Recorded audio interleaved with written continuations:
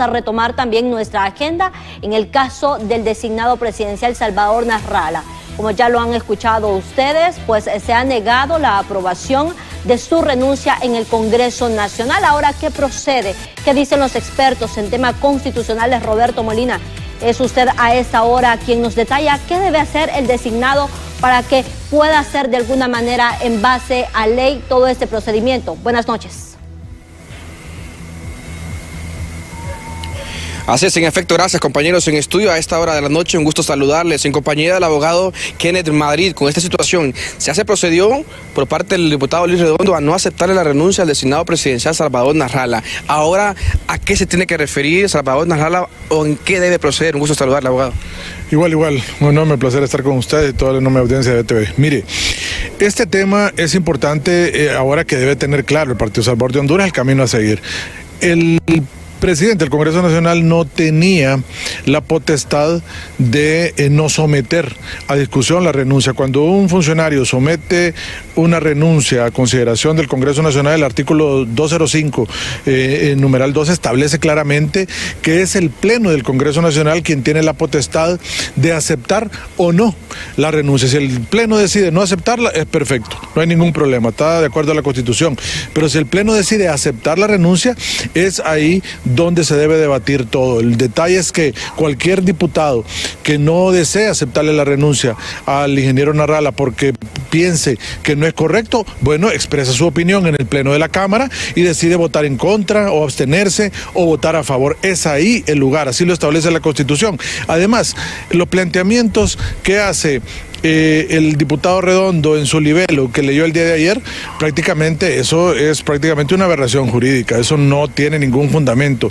Todos los que en alguna medida hemos estudiado el derecho constitucional sabemos taxativamente que un designado presidencial no puede aspirar a, la presidencia de la República si ha obtenido la titularidad del Ejecutivo, aunque sea en un día. Entonces, y eso no ha pasado con el ingeniero Narrala, por lo tanto, eh, él, nadie puede tener a un funcionario que ya no quiere estar en sus funciones. Para eso existe la renuncia y él debió tramitarla. Ahora, ¿qué espera por ello? Mire, acá eh, se ha configurado un delito de violación a los deberes de los funcionarios.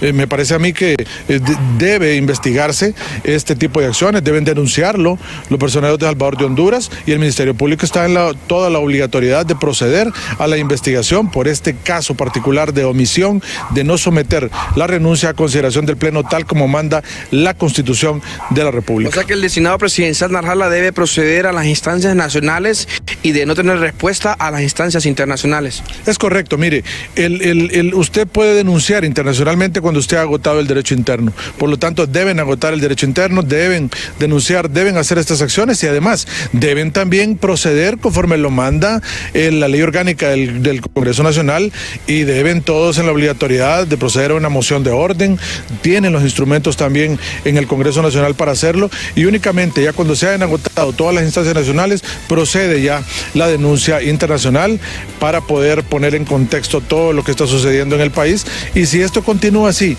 y no hay forma de someterlo a discusión, bueno, ahí vamos a estar al final eh, a la puertas de una nueva condena internacional por violar derechos políticos de un ciudadano. Brevemente, abogado, ¿cómo cataloga al abogado Kennedy Madrid la acción del diputado Luis Redondo? No, esa acción, mire, uno, hay una omisión a los deberes de funcionario de él y ese nivel lo que leyó. Esa es una aberración jurídica que no tiene trasfondo para ningún lado y no es él a través de un departamento legal quien interpreta la Constitución. Esa facultad la tiene el Congreso Nacional en pleno que interpreta la Constitución de forma auténtica y al final la Sala de lo Constitucional como intérprete último de la Constitución al caso concreto. Gracias al abogado Kenneth Maris, su análisis en torno a lo que ha ocurrido en el Congreso Nacional donde el diputado Luis Redondo no ha pasado al pleno la renuncia del designado presidencial Salvador Narrala. A esta hora, compañeros, retornamos a los estudios principales.